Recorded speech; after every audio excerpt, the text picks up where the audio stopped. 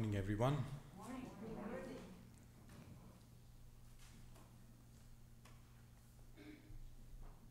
The love of God welcomes us.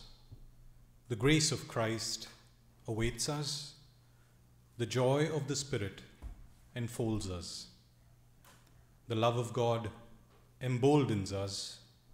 The grace of Christ redeems us.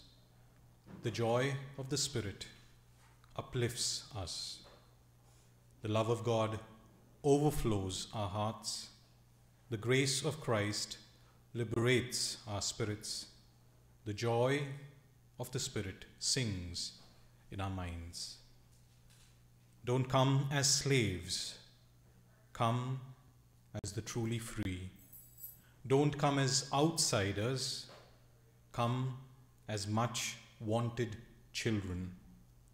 Come as the joyful, come as the eager, come as the thankful. Come as those who have received His amazing grace. Come, let us worship our God together. Shall we look to God in prayer? Most gracious God, our loving Heavenly Father, we thank you that this is the day that you have made. This is the day that you have called holy. Make us glad this morning, O Master, as we are here in your house, the house of the Lord. Remove from us our distractions, the worries of our heart, and all the things that stress and strain us, our to dos and should haves. And in its place, O oh God, give us more of yourself.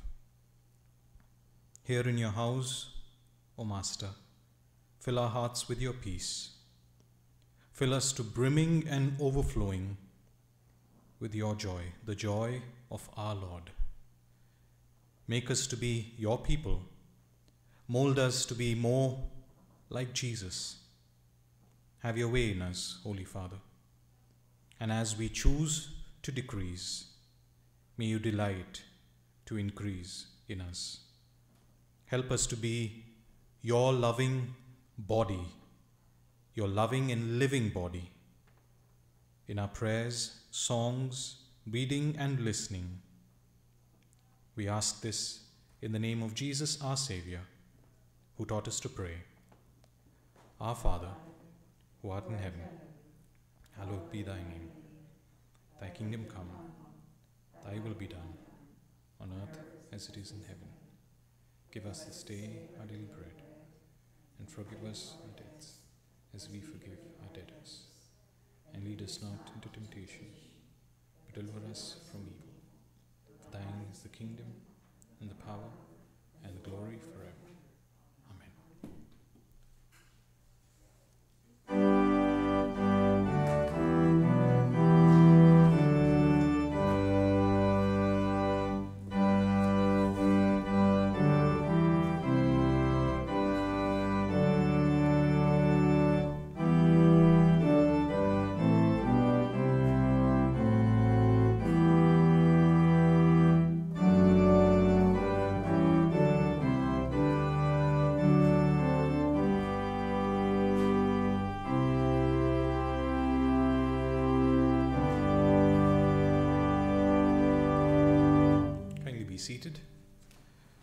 turn in our hymnals to hymn number 20 as we hum along with the music.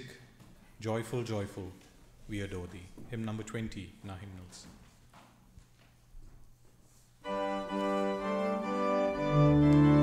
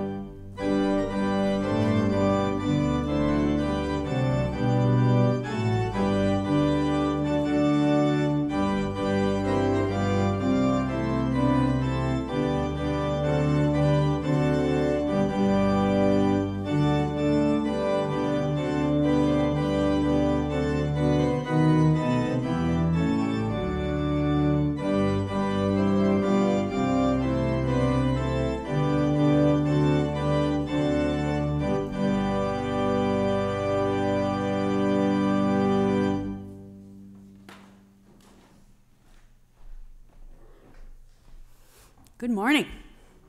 This is the day the Lord hath made. Let us rejoice and be glad in it. Welcome to the Sherman Church, especially our quarantine people. So glad to have you all back with us. And welcome to everyone who is worshiping online on our live stream.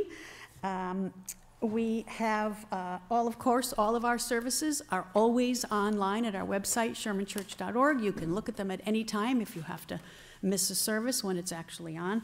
And Jen Bundy's children's stories are uh, still on hiatus at the moment, but you can look at past stories if you haven't seen them. Um, I have a lot of announcements today. It's very exciting.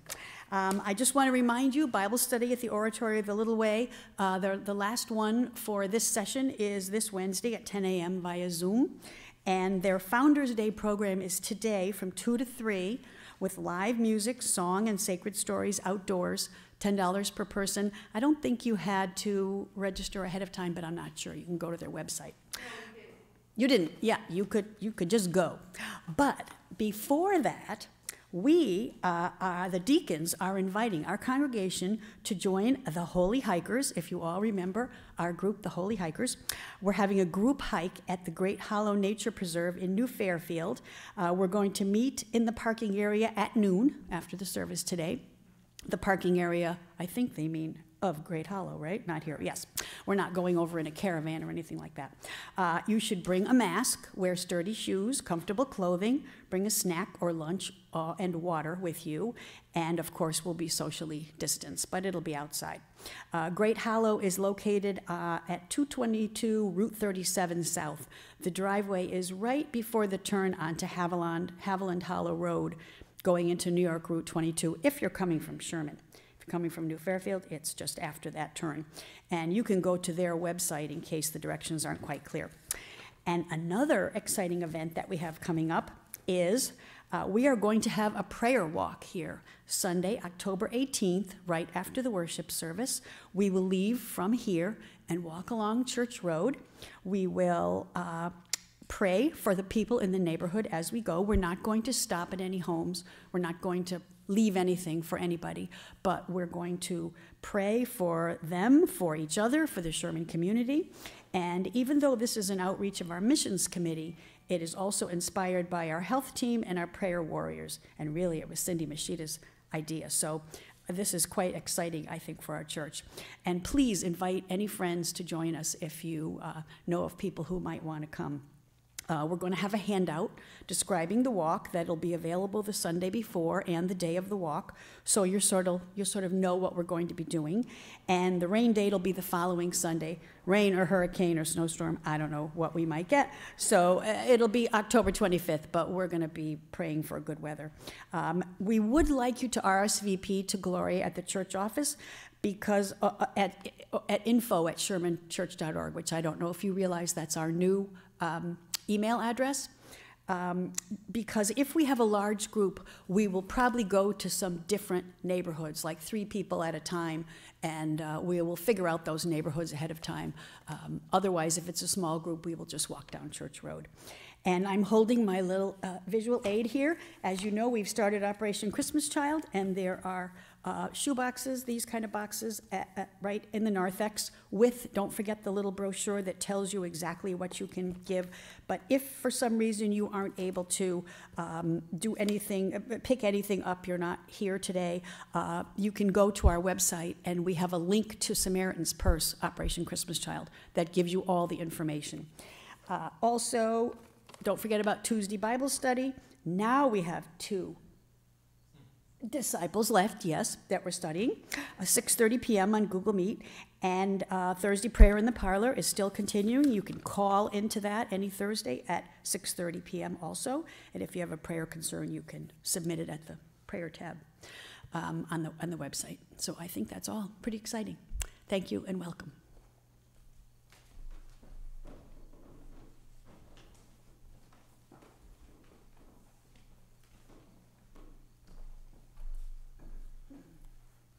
So this is the time in our service where we offer up our prayers to the Lord. Um, please speak, and I will try to repeat it for the folks that are joining online as best I can. And um, the Lord does hear our prayers, and He is uh, more anxious to bless us than we are to ask. So please ask Him for what's in your heart. Dear Father in heaven, what a privilege it is that we can come before you with our prayers, with our praise, with our adoration of you, with our requests of you, Lord. We thank you that you are gracious Father and that you allow us to come into your presence as your children. Please, God, hear our prayers. Lord, I pray for Sandy Cucci as she is fighting so hard this latest round of cancer. Please, Lord, let her know that you are there. She and her husband have both been battling cancer, but for Sandy, this is a very, very difficult time. Please give her strength, Lord. Prayers for Sandy Cucci, was battling cancer, a May's friend.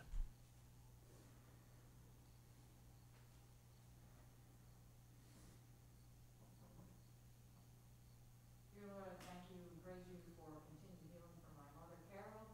I ask that you continue to be with her and help her as she goes forward without any extra caregivers this week as I return to work uh, in the office. Lord, be with her. Prayers for Sue's mom, Carol, for continued healing for her. And thank you, God, for the healing so far. Father, I lift up our daughter Carolyn to you. I know you're very close with her. Uh, she's doing fairly well, which is in her last month of pregnancy. And, um, some of her personal symptoms are rising now. We just ask you to keep her and the little one that's to come healthy and safe. That be your will. Amen.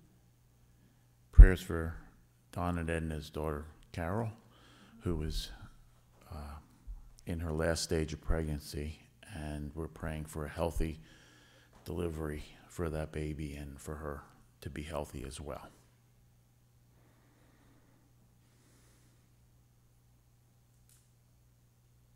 Lord, I just pray that Amelia is negative for COVID. She's been possibly exposed to the virus. I just pray that that's a negative result.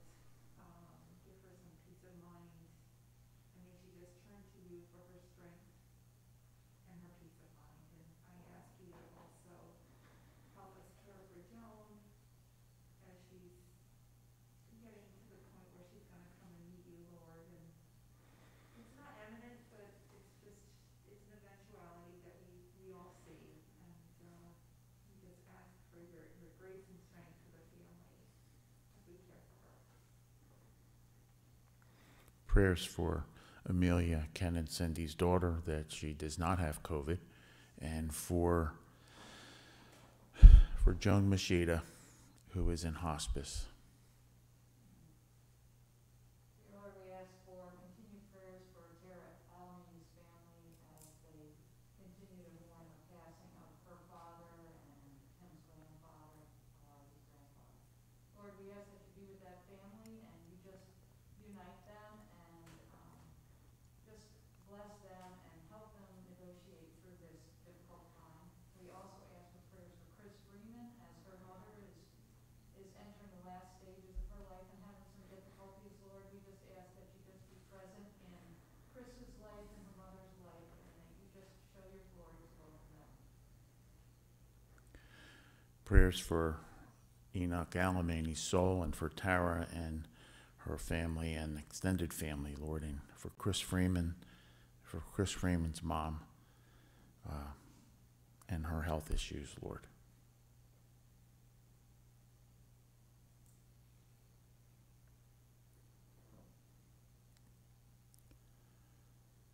Dear Lord, we I lift up Kim Page to you. Please give her strength at the loss of Larry, her, her husband of 38 years. And I pray, Lord, for his soul to be in your hands.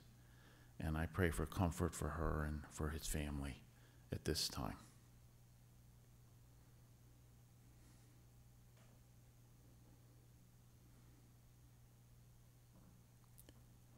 Dear Lord, we also lift up the nation to you. Uh, we thank you for Franklin Graham's uh, work for to work the church to bring unity into this country and uh, positive change, Lord. And we just lift up our leaders. We ask you, Lord, that they govern rightly and justly and fairly, and that they do their jobs responsibly. Uh, dear Lord, I just lift up this nation to you at this time for healing in our hearts and in our minds, Lord. And we are in your hands, Lord. You are sovereign. And we thank you, God, for your goodness. We thank you for your mercy. And most of all, we thank you for your Son, Jesus, who died to save us for eternity. In Jesus' name, we all pray. Amen.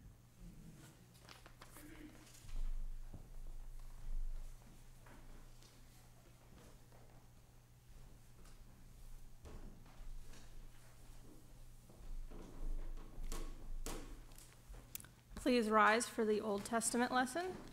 Uh, the Old Testament lesson is found in Judges chapter 16, verses 23 to 30, found on page 251 of your Pew Bibles.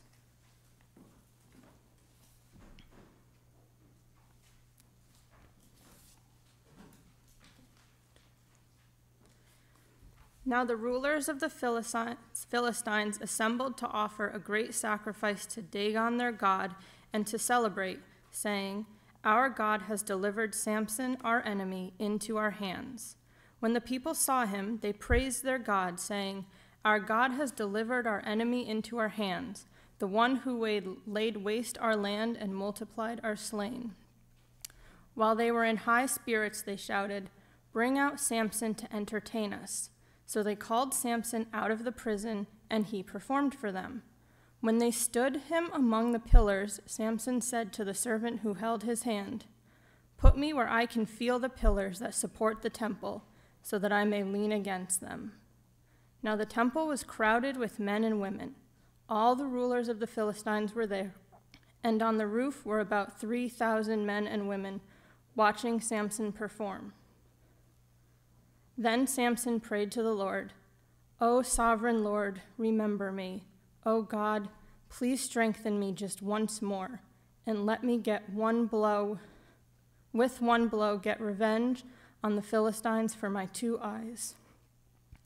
Then Samson reached toward the two central pillars on which the temple stood.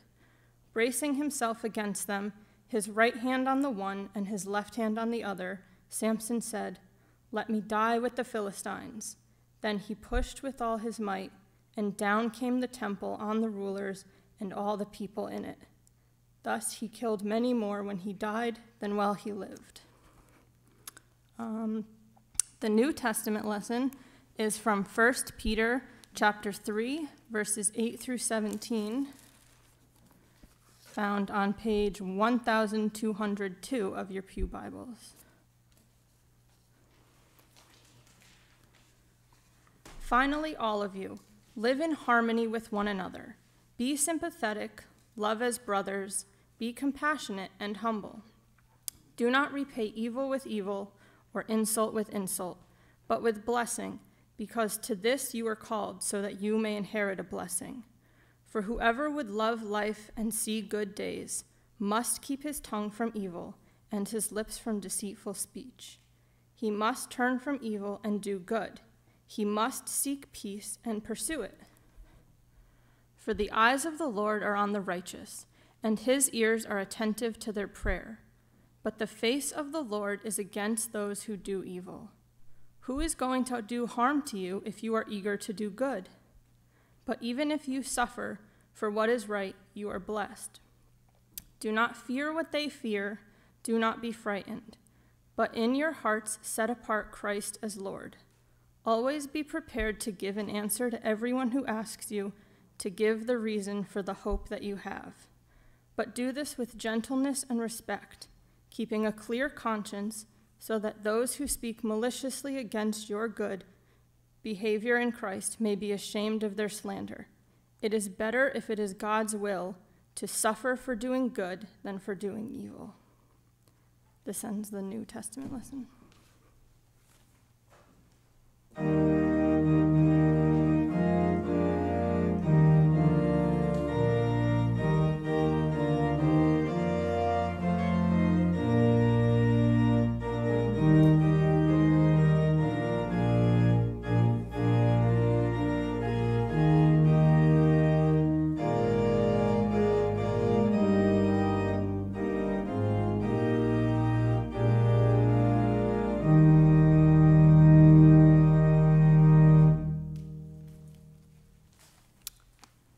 gospel lesson is found in Luke chapter 6, verses 26 to 36, found on page 1021 of your Pew Bibles. Woe to you when all men speak well of you, for that is how their fathers treated the false prophets. But I tell you who hear me love your enemies, do good to those who hate you, bless those who curse you, pray for those who mistreat you. If someone strikes you on one cheek, turn to him the other also. If someone takes your cloak, do not stop him from taking your tunic. Give to everyone who asks you. And if anyone takes what belongs to you, do not demand it back. Do to others as you would have them do to you. If you love those who love you, what credit is that to you? Even sinners love those who love them. And if you do good to those who are good to you, what credit is that to you? Even sinners do that. And if you lend to those from whom you expect repayment, what credit is that to you? Even sinners lend to sinners expecting to be repaid in full. But love your enemies, do good to them, and lend to them without expecting to get anything back. Then your reward will be great, and you will be sons of the Most High, because he is kind to the ungrateful and wicked. Be merciful, just as your Father is merciful. This is the word of our Lord. Thank you, God. Kindly be seated. Let's turn in our hymnals to hymn number 704 hymn number 704.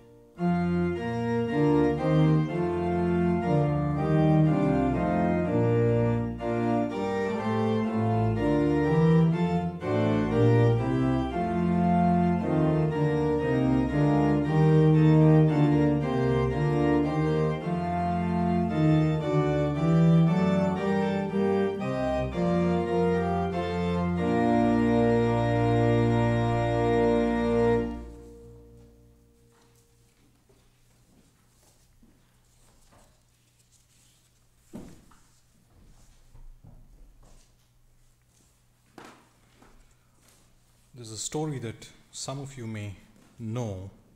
It's about some officers during the, the Korean conflict. These officers rented a house for themselves and they hired a, a Korean boy to do work for them, to do their laundry, their cleaning, and their cooking. And this boy was a cheerful, happy soul. And the officers were young and they had a lot of fun playing tricks on this uh, Korean boy. So the officers would nail his shoes to the floor, they would short sheet his bed, they put buckets of water up over the door so that when this boy pushed it open, the water and the bucket, you know, fell on him. And the boy, he always took it with such grace and good humor that after a while, these officers, they started feeling kind of embarrassed and ashamed of themselves. So one day, they called this boy in and they said, You know, we've been doing all these mean things to you, and you've taken it so beautifully. We just want to apologize to you and tell you that we are never ever going to do these things again. We are never ever going to do those things again. So the boy said, you mean no more nailing shoes to the floor? And the officer said, No, no more. The boy said, No more buckets over door? They said, No, no more. Okay then, the boy said, No more spit in soup.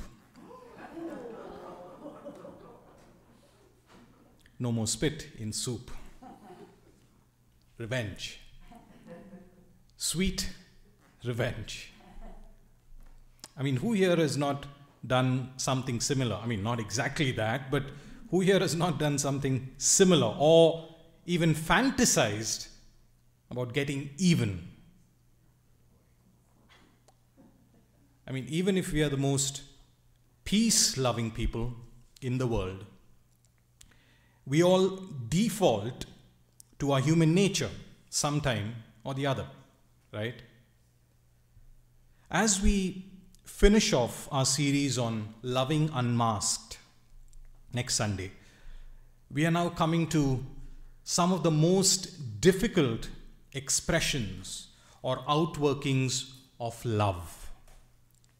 You know, as Christians, we are all called to love one another. That's, we, that's what we read in our Bibles, that's what we've been taught all along. And we say that we do love. We do love, right? But Paul has been teaching us from this passage what it actually means to love. Love in practical ways. What, what does that entail as a church, as a body of believers? And for today, Paul tells us in Romans chapter 12, and we are looking at verse 14 and verses 17 and 18. So, this is what Paul says Bless those who persecute you, bless and do not curse. Do not repay anyone evil for evil. Be careful to do what is right in the eyes of everyone. If it is possible, as far as it depends on you, live at peace with everyone. This is where the rubber meets the road. Here, you know, in these, uh, in these three verses, we find some of the, the most impossible demands of love that are upon us as, as Christians. Now, let me try and help you experience the first impossibility of these three verses. Uh, would you do a, a little exercise with me? Could you all please close your eyes?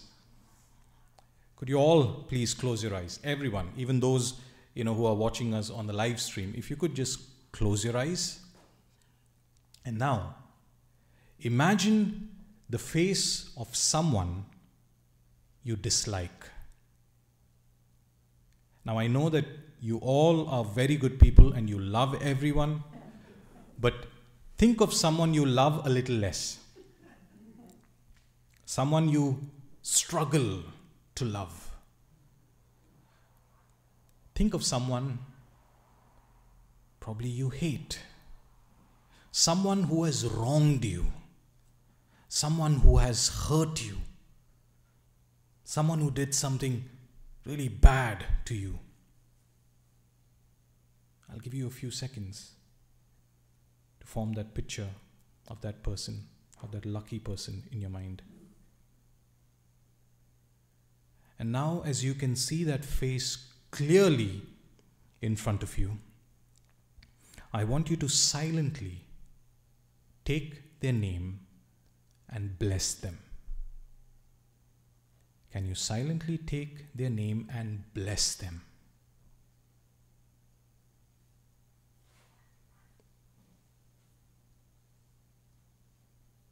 Okay. Now, was that easy? Ah, I'm not going to even ask how difficult that was. If you're human, I know that it was difficult. So that's our first dilemma the impossibility of blessing those who persecute me. Paul writes, Bless those who persecute you, bless and do not curse. And this is exactly what you know Jesus also says in our gospel lesson and what Peter also uh, mentions you know in his epistle that was read out to us. Bless those who persecute you, bless and do not curse. Now, being the good people that we are, we may not curse anyone, right? I mean, although there's a certain freedom when we went out, right? If at all, you know, any of us like, or any of us dislikes or hates, how would you, how would you like these words? How, I mean, how do these words sound, especially for those people whom we hate, whom we dislike? Listen to these words. Let their supper be bait in a trap that snaps shut. May their best friends be trappers who'll skin them alive. Make them become blind as bats. Give them the shakes from morning to night. Let them know what you think of them. Blast them with your red hot anger. Burn down their houses. Leave them desolate with nobody at home. Pile on the guilt. Don't let them off the hook. How did that sound to the person whom you imagined? Now, where do you think I got that from? That was Eugene Peterson's The Message, paraphrasing the words of King David in Psalm 69, verses 22 to 27. And David ends, uh, you know, in verse 28 by saying, May they be blotted out of the book of life and not be listed with the righteous. Now, I'm not trying to show you the bad side of David. That's not what I'm trying to do. I'm only saying that we are just like David.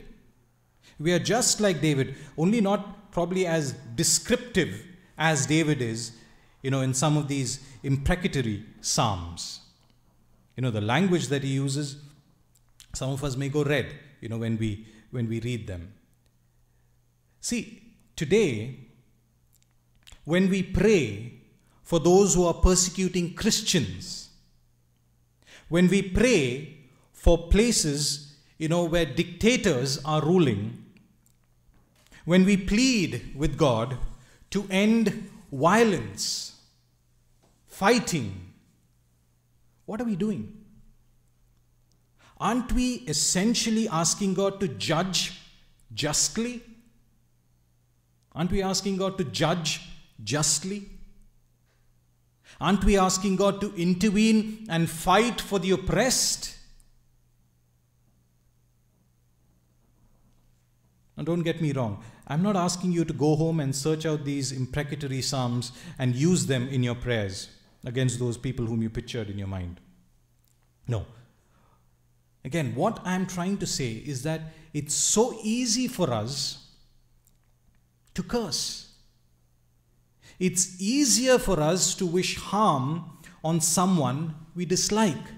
It's easier for us to take revenge or to at least fantasize about getting even compared to blessing those who persecute us. It's more difficult for us to bless than to curse. It's more easier for us to repay back and to get even rather than doing, you know, that impossible demand of love to bless and not to curse and to not repay back evil for evil. You see, this is a demand of love that not just restrains our hands from doing evil, but it also sort of checks our bitter feelings, our own personal feelings towards those who unjustly trouble us, to those who may persecute us and seek our destruction. It's very difficult to practice that, right? It's kind of impossible. How can we do that? I'll come to that at the end.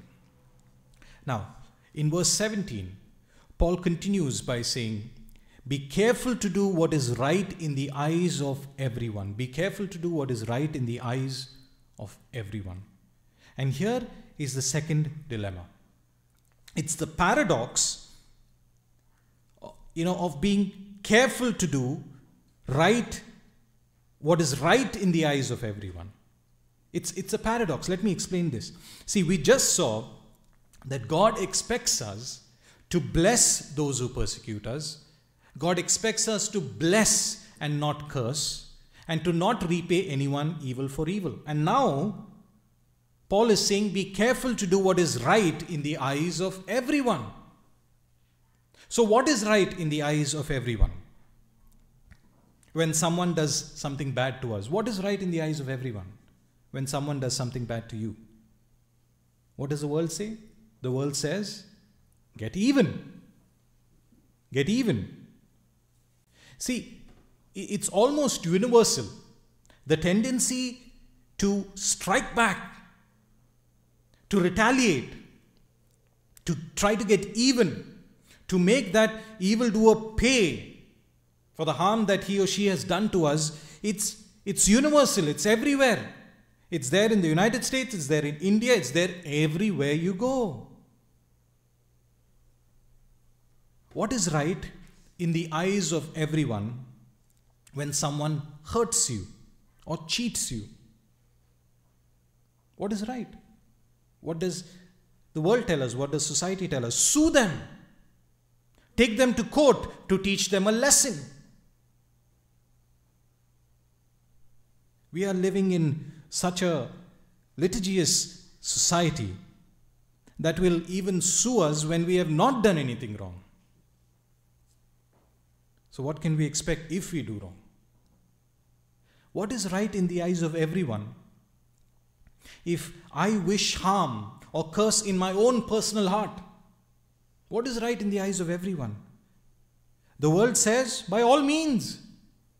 Hey, what you do in your own time and in your own space and in your own heart is perfectly all right.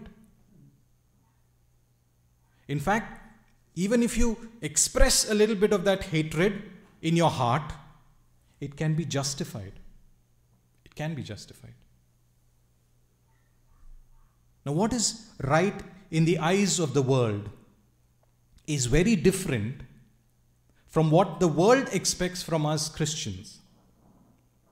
What is right in the eyes of the world for themselves is very different from what the world expects to see in us Christians. The world is so quick to notice that we Christians do not conform to a certain standard. And they are even quicker to sort, you know, when we do not live up to that standard, they are even, you know, quick to mock us and to even mock our Lord Jesus because we do not live up to that standard. The world will never hold these high moral standards for themselves, and they will never let go of an opportunity to judge us if we fail from what they expect to see in us. And so, is Paul telling us that we should always do what is right, or we should always do what the other people or the world considers to be good and right? Is Paul teaching us to always look good on the outside by doing things that the world sees as right and good? Is that what Paul is trying to te- teach us? Now, let me try and combine these both and what Paul tells in verse 18 in, in an example of a person. If you want a very good example of someone who did whatever he saw as right and good, if you want an example of someone who did exactly what he saw as right and good, if you want the best example of someone who died getting their revenge, then it is the one who you know we read about in our Old Testament reading from Judges chapter 16. Samson. Samson. Now, Samson, he always did what was right in his eyes. In fact, you know, in some ways, the problem was always with his eyes. Now we all know that Samson Samson was extremely strong, extremely strong. But he was also a man of peace. Samson was also a man of peace. I thought that would wake some of you up. I said Samson was a man of peace, not P E A C E. He was a man of peace, P I E C E. He always gave a piece of himself. He always gave a piece of himself, his mind and his muscle, to everyone. If you read the story of Samson in the Old Testament, you see that connection between his eyes and his heart, the eyes and his actions, the outworkings of the heart.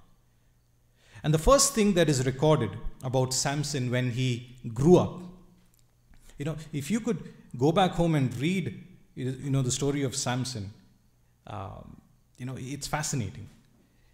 The first thing that is recorded when Samson grew up in Judges 14:1 is that Samson went down to Timnah and he saw there a young Philistine woman. Do you notice that? Starts with his eyes. He saw there a young Philistine woman. And he came home and he told his parents, I have seen a Philistine woman in Timnah. Now get her for me as my wife. A Philistine woman for a Jew, for a Nazarite. Now, when you have a son who's as strong as Samson, you don't argue much. so the marriage was arranged. But Samson, you know, in the, in the course of that marriage, Samson asked a riddle to the Philistines, uh, and they couldn't answer it. And, you know, those, uh, the one who lost the riddle had to pay, you know, 30 uh, sets of clothes to the one you know, who won. And so these Philistines, they were going to have to pay a huge sum, you know, to uh, if Samson won, and they did not know the answer to this riddle. So the Philistine threatened Samson's bride to get the answer. And finally, they got it, and they gave the right answer to Samson. In his anger, Samson he went to the neighboring town he struck down 30 men and he got their clothes to pay his end of the bargain because they had answered, uh, you know, the riddle. Samson's bride, and you know, Samson in his anger went off. Samson's bride was given to another man. And when Samson returned back, he got to know that, you know, his bride had been given to someone else. And now he wanted to get even. He wanted to get even. And what did he do? He tied the tails of 300 foxes in pairs. He lit up those tails and he set those foxes loose in the standing grain of the Philistines. Total destruction of everything that they had toiled for. Gone. Just to get his revenge. And then he didn't stop at that. It, you know, in order to get his revenge, he attacked and viciously slaughtered many of the Philistines. At one time, using the jawbone of a donkey, he even struck down a thousand men as he burned to get even. And then Samson's eyes fell on Delilah. And ultimately, she shaved off Samson's hair and she shaved off his miraculous strength also. The Philistines captured Samson and they made him blind. They took off his eyes, they gouged out his eyes. In the end, what did Samson do? He sought revenge for his eyes. He sought revenge for his eyes. And in his vengeful death, he killed many more than when he had lived. The example of, of Samson, you know, even if it was possible for him, it was possible for him to be peaceable. But he did not, because he did what was right in his eyes. peace depended on him. He could have kept the peace.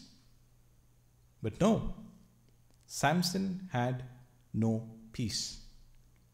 He was not a man of peace.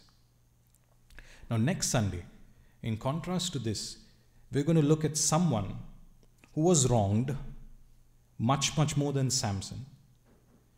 Someone who was treated unjustly, who was persecuted, but yet, you know, their response was something else. And I'm not talking about Jesus, but a type of Jesus. But please keep this example of Samson in mind now.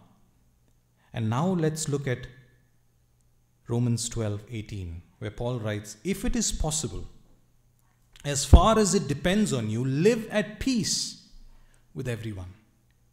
If it is possible, as far as it depends on you, live at peace with everyone. Paul is calling us over there to be a people of peace. A people of peace who will seek and pursue peace. But he also gives two qualifications over there. It's not just just peace, you know, pursue peace or live at peace with everyone. There are two qualifications. It says, if it is possible. If it is possible. Now, there can be sometimes where peace is impossible. Uh, for example, Hebrews 12:14, uh, it says, "Make every effort to live in peace with everyone and to be holy.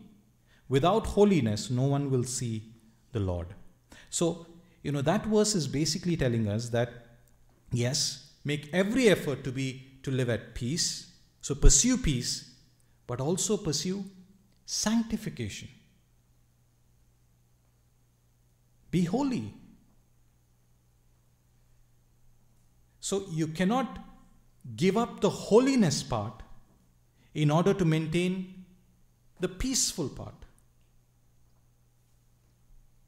For peace without holiness is not real peace.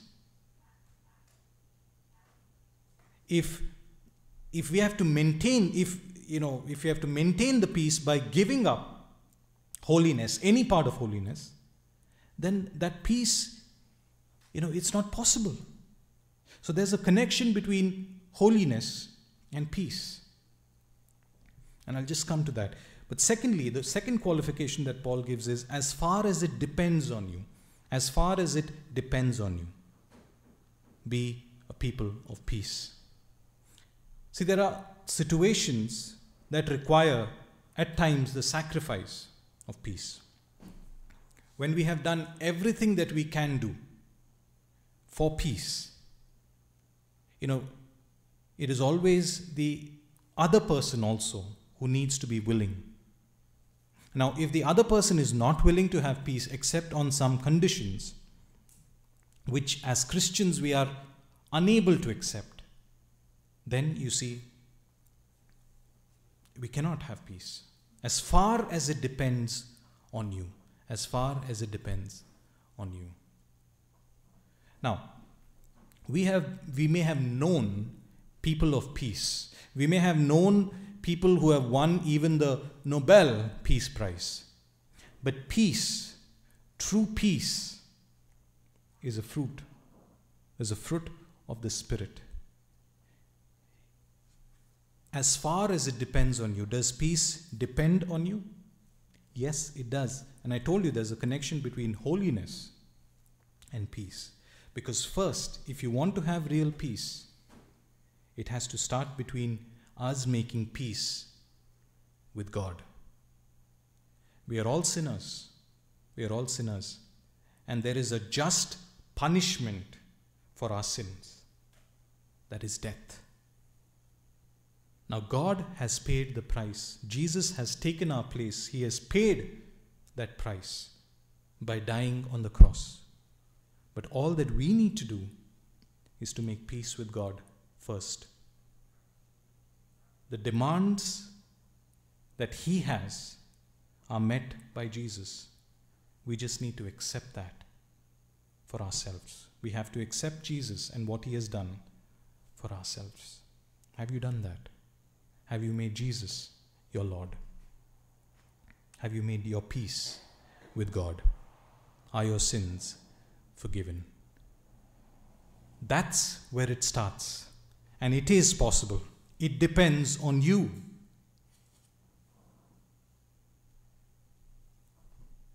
True peace with others follows from this. Because, see, once we have made our peace with God, and then when we start loving God, when we start loving the Prince of Peace, it is then that we will be peacemakers. It is then that we can make peace with others. So, it all starts with making our peace first with God. And then we'll be able to truly bless, even bless those who persecute us. The first impossibility becomes possible if we are a people of peace. First, peace with God. And let His peace rule in our hearts. It is then that we can truly bless others, even those who persecute us. Because that's what the Prince of Peace, our Lord, did. Even to the ones who crucified him, he said, Father, forgive them. He loved, he loved, and he continues to love, doesn't he?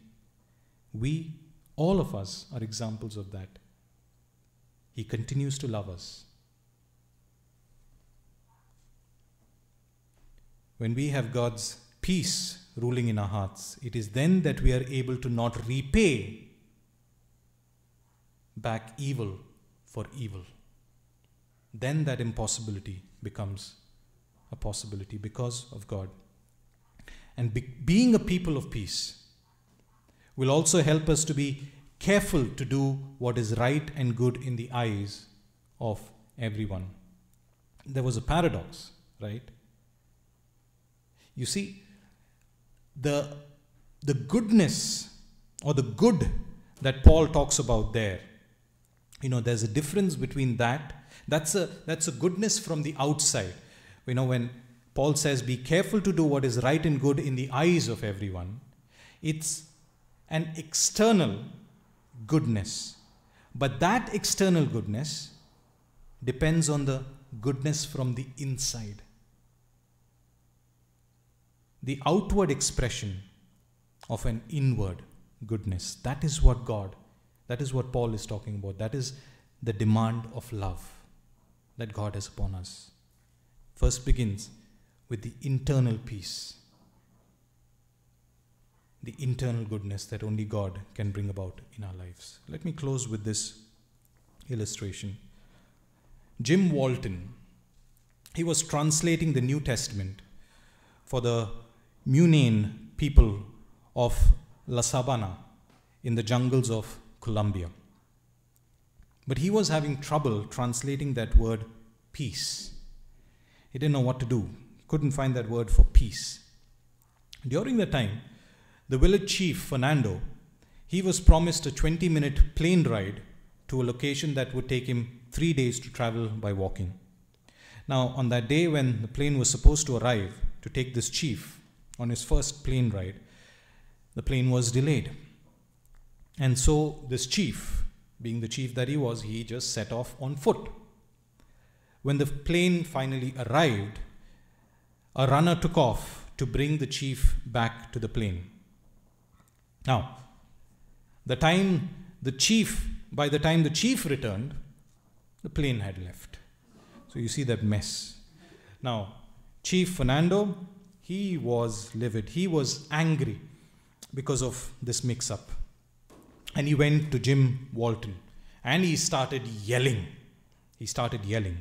Now, fortunately, Jim Walton, he taped and he recorded the chief's angry, you know, all the angry words that he used in his anger.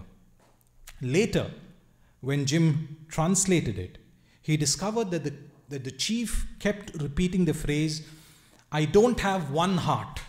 I don't have one heart. And Jim asked the other villagers what having one heart meant. And he found that it was like saying, There is nothing between you and the other person. There is nothing between you and the other person. That, Jim realized, was what he needed to translate that word peace. Peace begins when there's nothing between us and God. Peace begins when there's nothing between us and God. We have one heart with God. Nothing is held back. Nothing separates us. No pride, no sin, no guilt. We have one heart. And then, then when we have one heart, we can trust Him.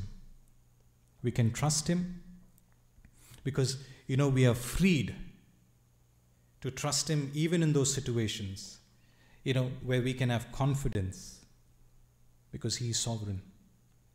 He is sovereign in those situations, and we are free to act as His children, to express mercy and grace towards others who persecute us. That's the demand of love. Let's close our eyes, let's bow down our heads.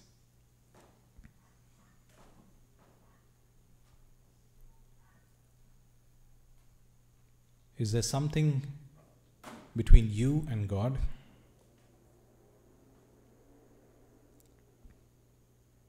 Have you made your peace with God? Or have you held back? Is our pride, our sin, our guilt, what is separating you and God? Make your peace with God first. And then ask Him to help you to pursue peace, to seek that peace, and to live for the Prince of Peace. In doing that, we'd be able to meet the demands of love. Can each of us say a prayer in our own hearts?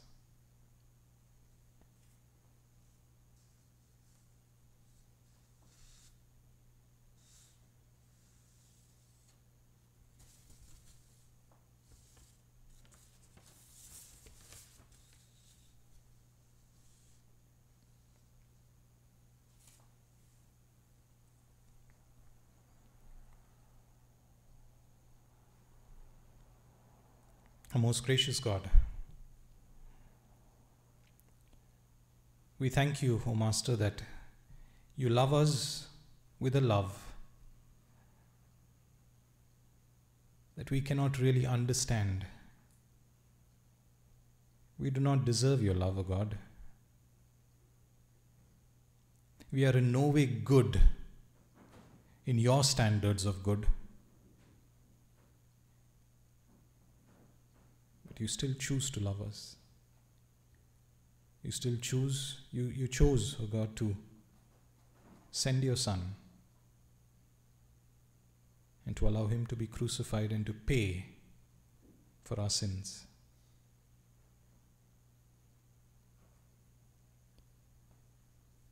We thank you, God, that you did not repay us for our sins, but you repaid us in love. You made peace between us by giving us Jesus. And Lord, we pray that each one of us would be able to make that peace first with you. Because true peace cannot be cannot be had in any other way. Lord, as we have that peace, as our sins are forgiven, as Jesus is our Lord, may we live for the Prince of Peace. And in so doing, O Lord, may we be able to bless those who persecute us. Bless and not curse. May we be able to repay, not repay them evil for evil, but in your way, O Master. We just pray and commit ourselves to you. Help us to understand this and bring us to you, O Master, that we may experience true peace, that we may be a people of peace. We thank you, O Father, for listening. In Jesus' most precious name we ask and we pray. Amen.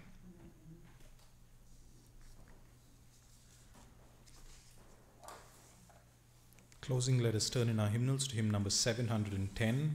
Hymn number 710. And let's let's sum all the three verses of this hymn, hymn number 100, 710. We are called to be God's people. Let's all